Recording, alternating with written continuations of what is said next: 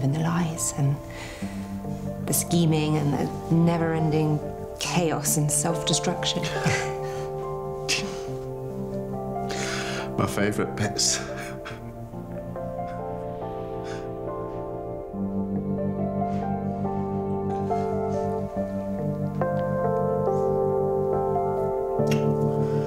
About yesterday, I'm sorry I let Warren steal the kids. Okay, well, he, he didn't steal them. They're his children, too.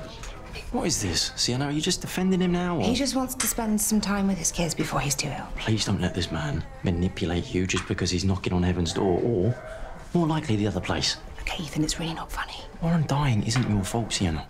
Are you okay? Yeah, I just didn't sleep very well. You know, Ethan, after you left, Warren and I were talking, and he got really upset, and then the next thing. He tried it on, didn't he? But that man is a scumbag, Sienna. Okay, um, the children are already late for school, so why don't we just talk later? Yeah. Let's do that. Hey, come on, kids.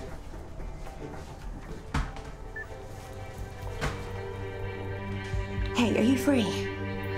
I really need to see you. I heard you tried working your magic on Sienna. Look who it is. It's bargain bin me. Don't tell me the batteries on your lady shave have run out.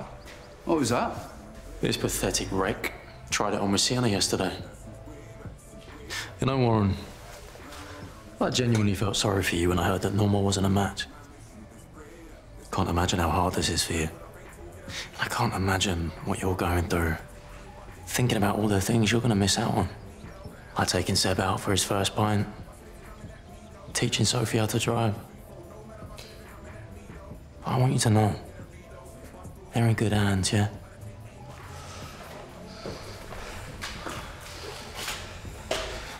Are we done? Still, that doesn't excuse what you've done. Let's get this straight. Me and Sienna, we had a little heart to heart. I took hold of her hand, and it was her who stuck the lips on me. She still tasted as good as I remember. This is pitiful, even for you, mate. It's funny how she didn't mention that bit. Hey, you don't think that she's still got feelings for me, bargain bin? Dad? Very nice. I can't wait to flush your ashes. Word of advice. All this hatred coursing through your veins. Let it go. Because it will eat you up from the inside out. Is that right? You know, if I could have my time again, I would do everything differently. Then I would get to do all the things with my kids. Instead of you.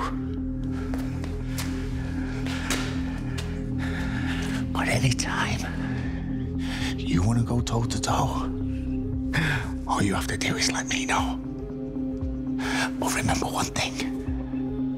What happened to the last blow that came between me and Sienna? And that is when I had something to lose. So if I was you, I would look both ways from now on.